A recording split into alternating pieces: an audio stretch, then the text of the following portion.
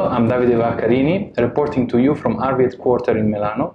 We have the pleasure to have with us today Guillaume Pouthier, the general manager of Bordeaux' greatest and upcoming estate, uh, Le Chateau Le Carmes Haut-Brion.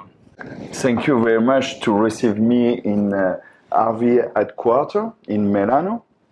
And I'm very happy to present the, not the new philosophy, but the philosophy of the estate of Le Carmes Haut-Brion.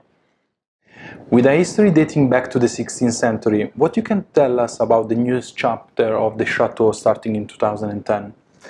Uh, since 2010, uh, the estate has a new owner. His name is Patrice Pichet. Yes. And uh, it's very interesting because uh, since this date, uh, you have a new ambition about the, the wine and about the quality of the wine. And I hope I can make a very great wine. And what is for me a great wine? It's a wine with a very perfect balance, with a lot of complexity, with a, a good capacity to aging. And I hope uh, if the team uh, can make the type of this wine, it's to, to, to share some emotion, you know, uh, because I think it's very important when you make a wine uh, to have an emotion.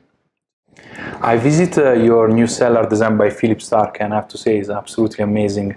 But what you can tell us more about it? Uh, I agree with you. Uh, the new cellar of Le Carmes Haut-Brion it's very uh, not maybe amazing, but it's very unique because it's like a, a boat, you know, yes. and the shape of the boat it's upside down.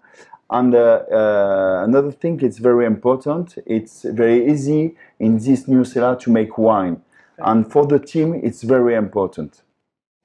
So Guillaume, you are the only one with Bordeaux City address? Are you sure? Of course I'm sure, I came to visit you already. what are the positive and negative aspects from this? I think it's uh, for me the only positive aspect because it's easier for the public to visit us. So Guillaume, if you had to describe uh, um, Le Carmes Haut-Brion in few words, what it would be? For me, if you have uh, two or three words, I say unique. Yes. Uh, complex and uh, very, very important, authentic. Guillaume Pouthier, thank you very much again for your time today. I'm really looking forward to taste all the great wine uh, you selected for us tonight. And of course, to see you again in Bordeaux for the Primeur Campaign 2017. Salute!